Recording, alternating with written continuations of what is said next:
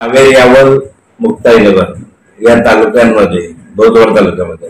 मोठ्या प्रमाणावर वादळाने आणि गारपीटने केळीची आणि अन्य पिकांची हानी झाली. केळी तर साफ झाली. आणि यामधून लाखो रुपयाचं नुकसान शेतकऱ्यांचं या ठिकाणी झालं. याच्यात त्वरित पंचनामे करावे.